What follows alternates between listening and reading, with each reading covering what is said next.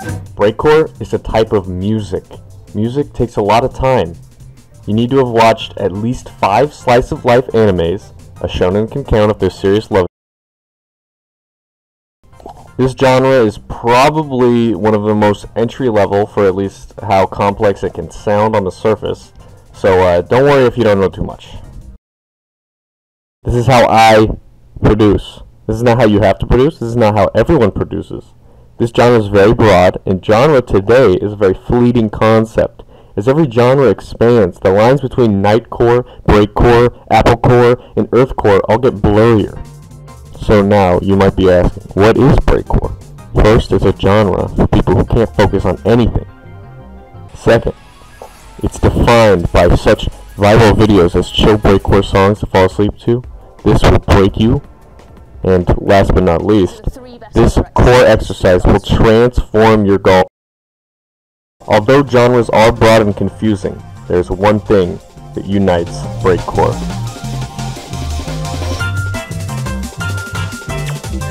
The Amen break is a drum break that has been widely sampled in popular music. It comes from the 1969 track Amen Brother by the soul group The Winstons. Released by the B-side of the 1969 single Color Him Father, the drum break lasts about 7 seconds and was performed by Gregory Coleman.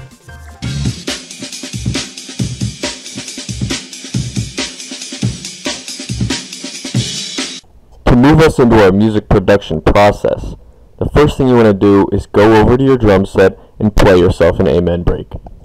As you can see, highly technical maneuvers on the drum set. Uh, definitely not just downloading samples online, and there's definitely not a link to uh, samples in the description. All right. This is the time. We're in FL Studio, and this is how you make breakcore.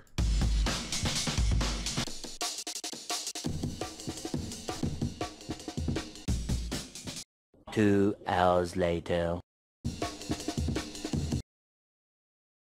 All right. You want to make sure your BPM matches your drum beat. Normally, it will say it's BPM, but uh, if it doesn't, it doesn't, you know? So you just got to match it up there. What the f is the BP?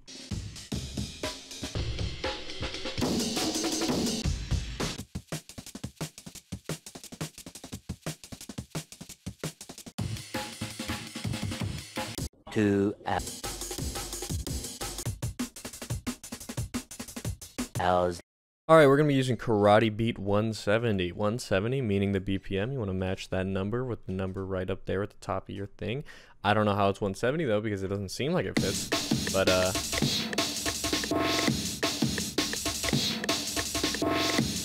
See, whoever uploaded this actually has problems with their mental health cuz this is actually a 160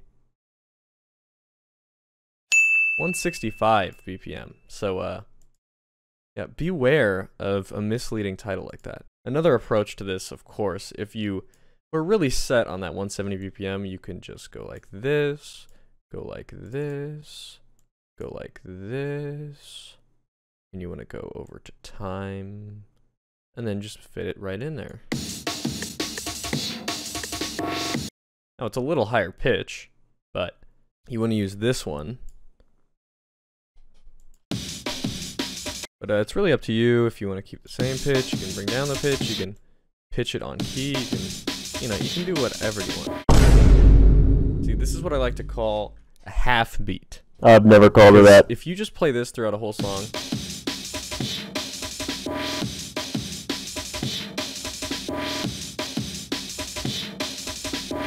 it already got extremely boring by the third time. So this is going to be a great one to either bring in in the bag of the mix or you know to to maybe mess around with. You can you can take things you can kind of you know slice them up a bit kind of mutilate them you know you can do have your way with your samples. They're they're yours you know they're yours to play with.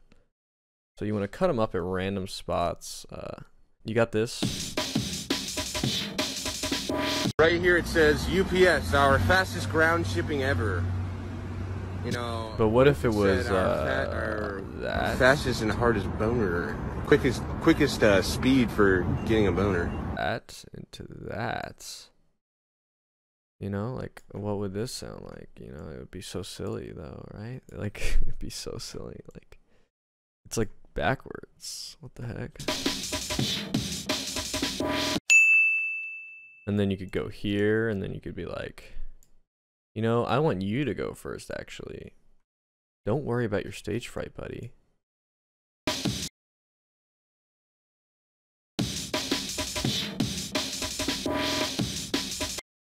Okay, that's not what you want though. Also, don't be afraid to reuse sounds. Just be like bang bang bang. You know?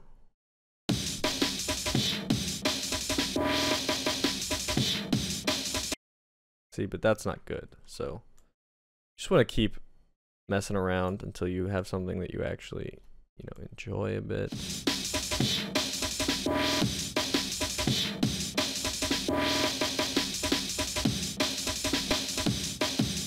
Even though you had no variation on this tiny little beat, you've created yourself a nice full bar of loops and you know, fun stuff, fun fun stuff. Okay.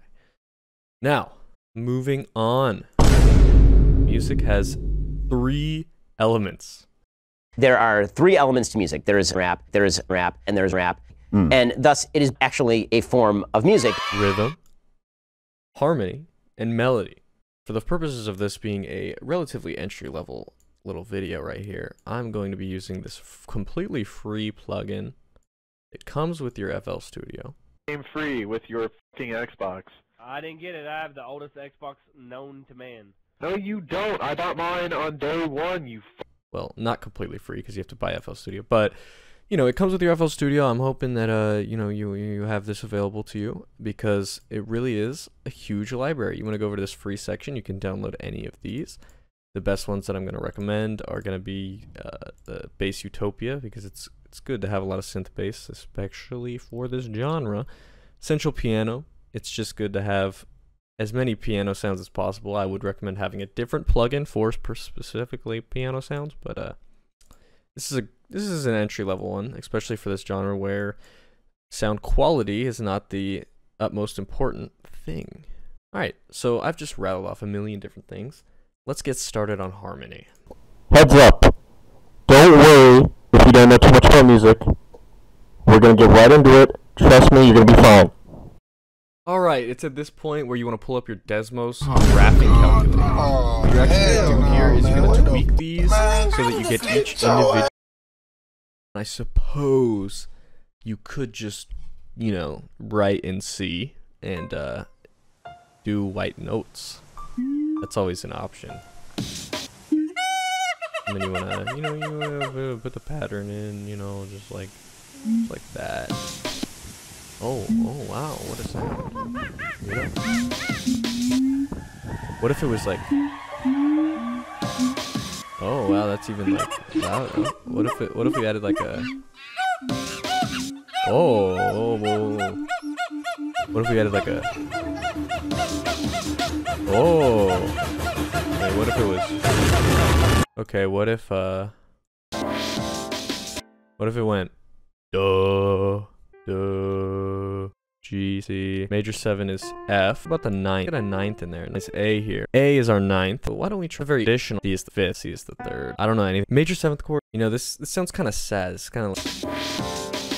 So what if we went even farther? Repeating the 4 is always nice because, uh...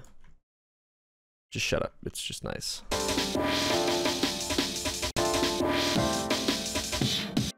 This is barely even a one. This is like the structure of a one chord, but it's we're really playing everything. Call it whatever the fuck you want. I call it sounding good. It doesn't sound that good. Just let it be an A chord. The F is completely musical content. So this is now our leading sound. We're definitely an A minor here.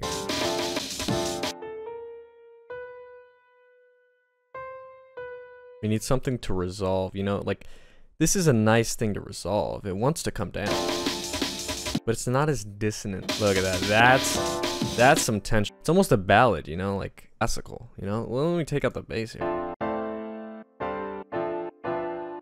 Now, what if instead of this, What if it was a Wait, that's what if instead of a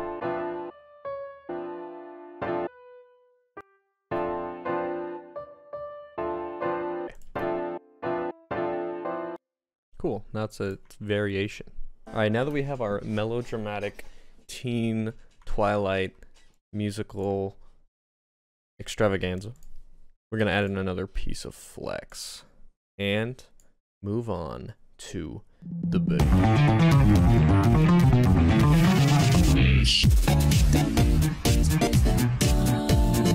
Now we have this nice little uh, bass utopia thing here. Wow. All right, let's try this out. See, some synths only play one note. It's called monophonic. Some synths will play many notes called polyphonic. We'll see right now if this is a mono or polyphonic synth.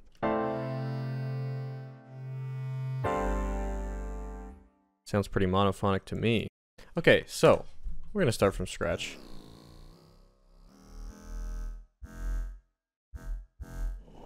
Okay, so I noticed I wasn't really talking at this part, so I figured I'd go and give a play-by-play of what I what I'm doing. As you can see, I, started it on, I, I started it on th- the F note, and the the bass line, and it goes up, it goes all the way up to the G, to the A, and then it goes down to the G. That's a nice little sound there, and I, I figured that out right off the bat. And then I, I it took me a little bit to get a you know the tempo down it was a weird weird place I wanted it to happen on the beat. Basically this is all you're gonna be doing when you're making a bass line. You're gonna have a you're gonna have a bunch of melody notes and you're gonna try to play around with them until they sound good and it's all trial and error. You know you'll make a hundred and then maybe you'll make one you like. It's you know it's how the world works you know. So uh it was nice meeting you guys. Uh I'll be back later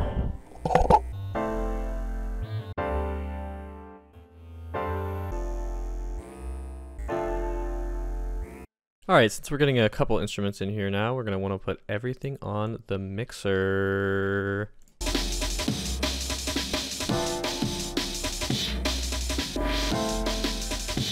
What did I say in the beginning? There's rhythm, harmony.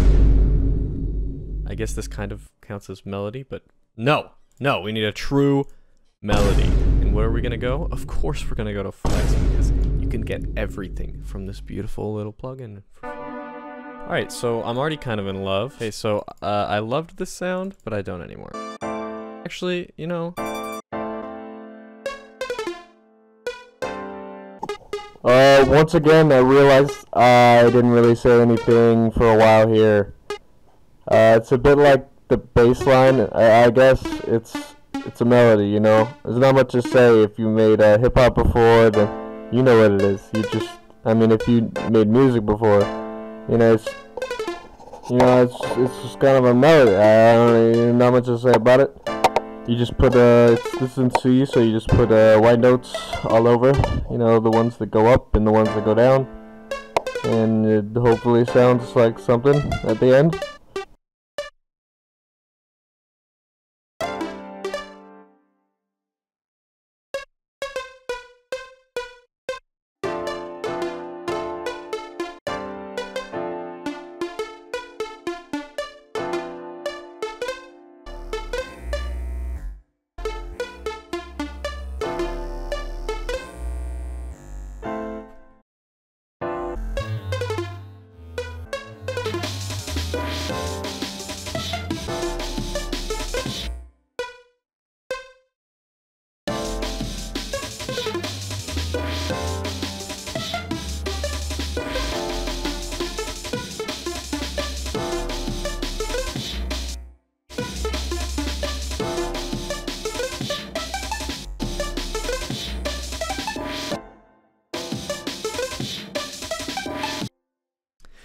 All right, we got our bass, we got our melody, we got our chords, we got our mother flippin' amen break.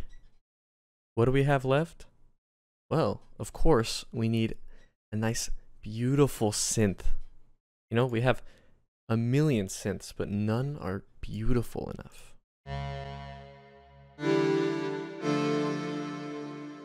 We'll start with this one, but we're definitely going to end up changing that.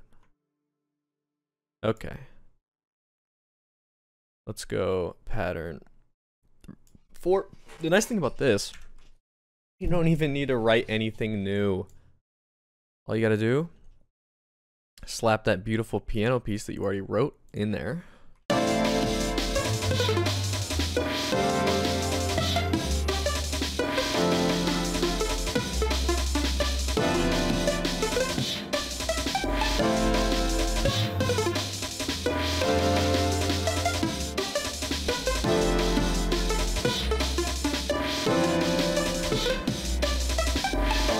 Now, I said I was definitely going to end up changing that, but holy shit, that hits like a mother butt cheek on a stick. You know what I'm saying? Okay. All that's left is the most fun part of the process. It gets all the girls, it gets every single person interested. Every whenever anyone asks you, "Oh, do you do music?" immediately, you know what they're going to ask? How good is your mixing? yeah, that's right. We're getting into mixing, baby.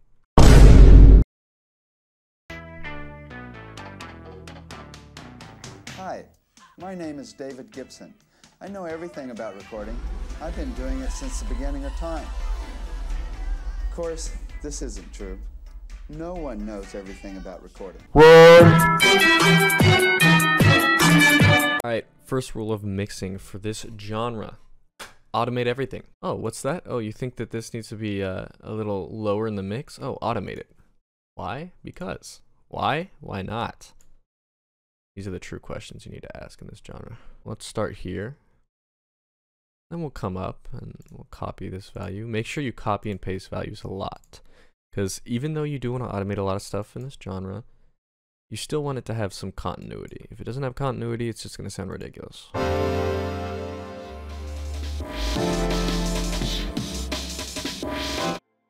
We can go in and do some proper channel mixing.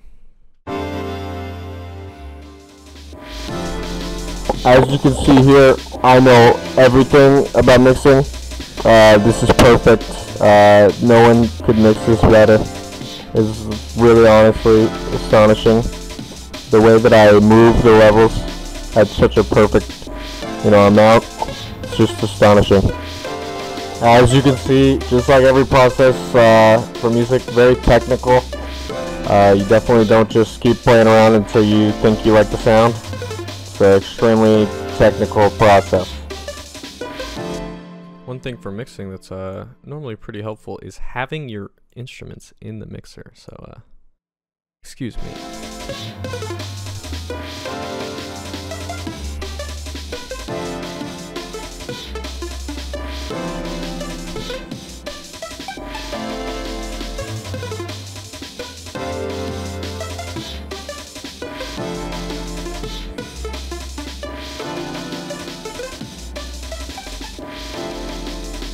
Alright, and everyone knows that mixing is literally just uh, changing these little levels right here, so we're completely done.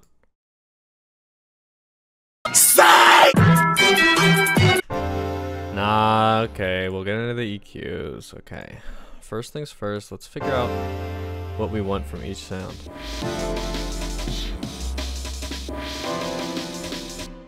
So, we're getting a lot of mids from this, you know, this is a very mid, mid heavy. Hear that? So, what what happens if we just boost the mids? Uh, soloing the sound.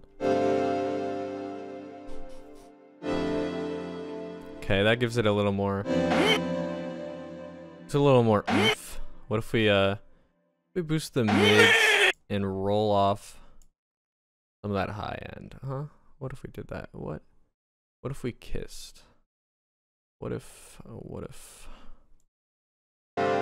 See, it's a major, absolutely major difference.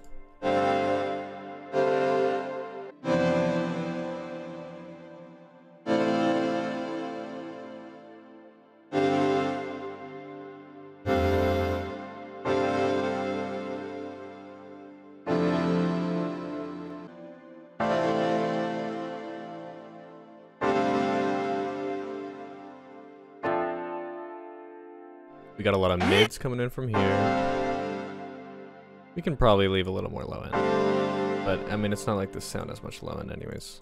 Sometimes it's going to be nice to EQ our hats, so let's check that out.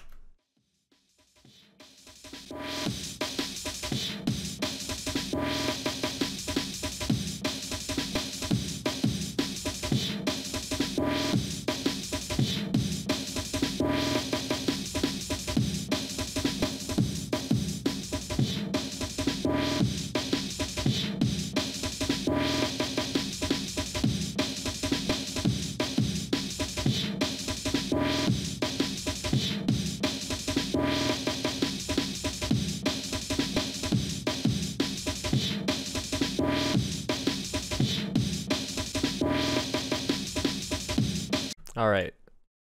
Now we're going into compressors. If you're a beginner for music, just do this. Just do this. Just do this. Just do that. Just do it. Just click Soundgoodizer, okay? If you want to do a little more, you can go over here and do this and then do it yourself. But honestly, I still kind of prefer the other one sometimes. So let's just do some Soundgoodizer. All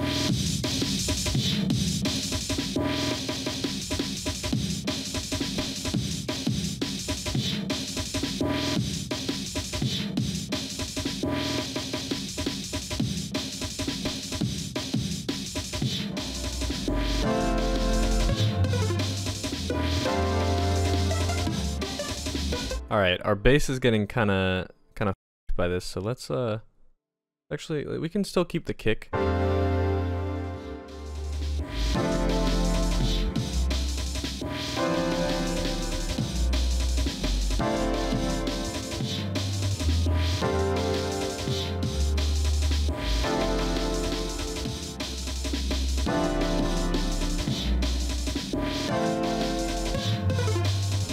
Right here, I'm using a highly precise move to uh, locate the kick.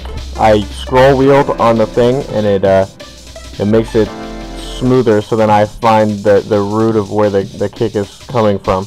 All right, this is our strongest sound, so we're gonna send this a little bit to the right, just a little bit. We don't want them all, you know, clashing with each other, fighting for the same space. Let's.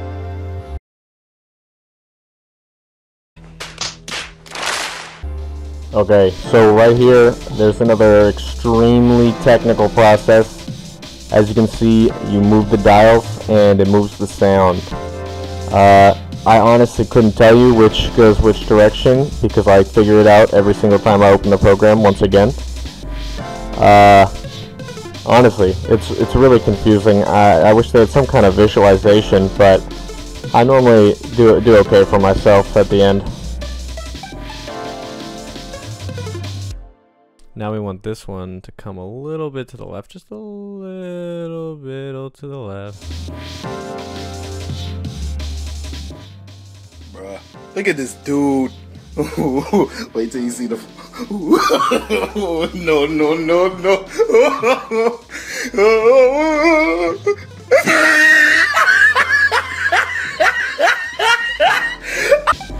I just put a second EQ. Alright, don't do that. Don't do what I just did. Don't put a second EQ. Just, please just work with your first Get my mids out of my synth. And then the highs out of this piano. Then what I can do is I can put the highs where the bass is. Because the bass has a lot of mids as well. That way, you know, we don't have this this mix, mash, mish, mash, or mac moop between the synth and the bass.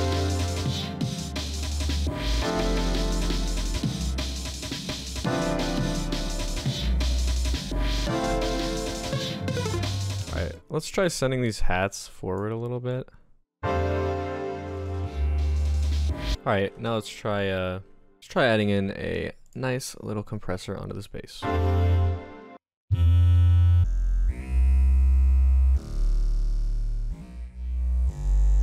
Let's default this real quick.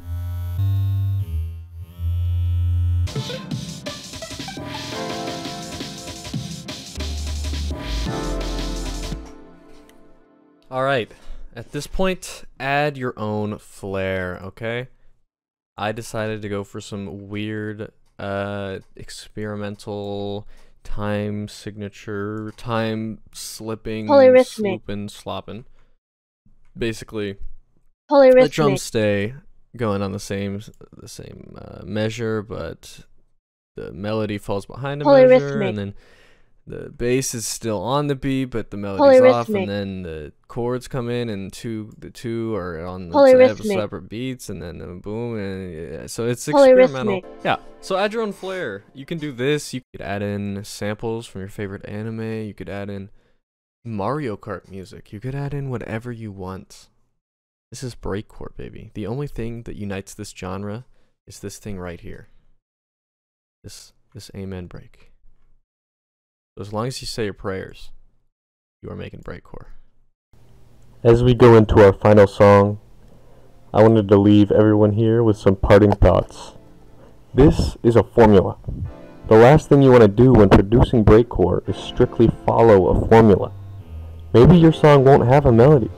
Maybe it won't have a bass line. Hell, maybe it won't even have harmony. Maybe you'll use arpeggio synth. Maybe a lot of things. Use this as a tool to learn basics, but don't use it as a formula to live by. Thank you and amen.